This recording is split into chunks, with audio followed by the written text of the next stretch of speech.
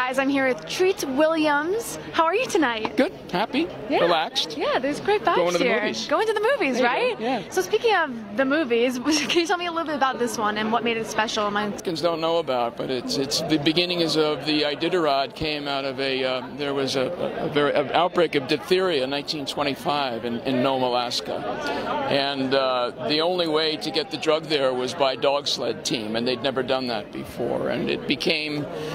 The reason they do the Iditarod is to honor that there, it was 70 degrees below zero. It was very difficult. People put their lives on the line to save these kids' lives. So, and uh, it's very beautiful to look at, and it's got a great love story and uh, make you cry a little. It's I love crying during Okay, movies. you'll Yeah, cry. so I think I'll like it. Tell me a little bit about your character in the film. Well, I play the town doctor, and my job in the in the story, and his job in the real story was to try and keep the kids alive as they started getting sick until the drugs got there. So, I'm desperately trying to keep the kids alive. Did you feel yourself getting actually emotional while filming this Well, you'll at see tonight. Oh, good. I, see. I guess we will. I'm not gonna I'm not gonna give it away. and what do you want the But I audience cry to take away? profusely. Oh, okay. Well, Profusely. guys, even grown men and grown women cry. I weep like a baby. Well, I'm excited for it. Then I'm you just got me excited, really. too. I can't wait to see really me hyped. cry. It's I know. so exciting. I can't wait to see you cry Love too. crying in the movies. I, it's amazing. It's amazing. Thank what, you. What do you Oh. want the audience to take away from this film? uh, that they were entertained and that they felt good. something and they learned something. You know, and then they had a good time and they go home to bed and tomorrow will be a nice day.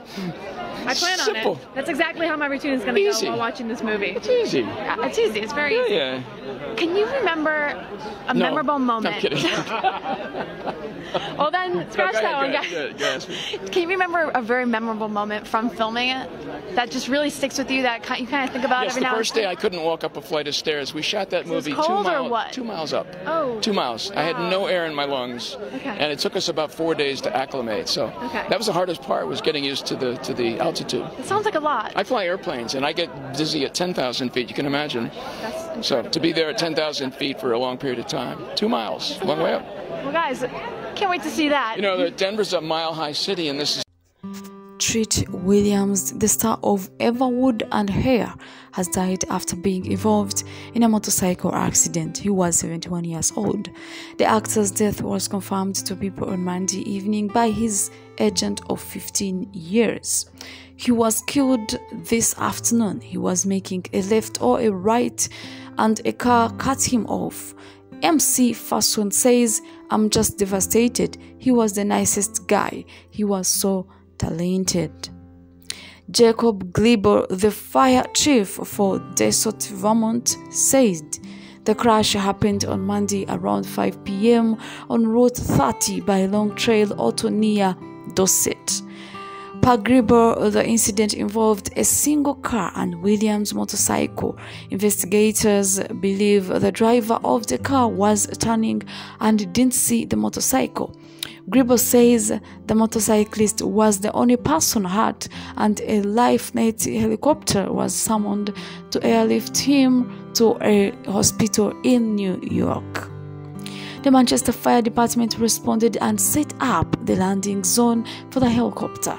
Other emergency services that responded include East Dorset Fire. The Vermont State Police also put out a press release later on Monday confirming Williams' identity and the details surrounding the crash.